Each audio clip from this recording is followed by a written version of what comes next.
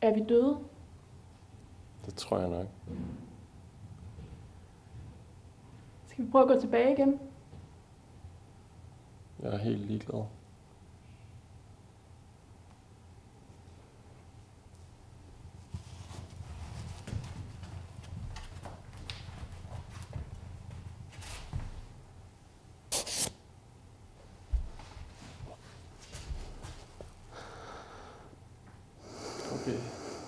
Vi er døde.